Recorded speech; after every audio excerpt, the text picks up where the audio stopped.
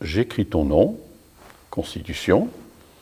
Il y avait deux thèmes fondamentaux. Euh, un premier thème qui est celui du nom, dénomination, appellation, formulation du document constitutionnel. Et, puis il y a j'écris, c'est tout le problème de, de l'écriture.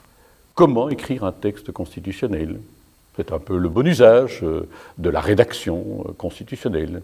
C'est un exercice de grammaire constitutionnelle, si, si je puis dire. On n'écrit pas un texte constitutionnel comme on écrit une circulaire administrative.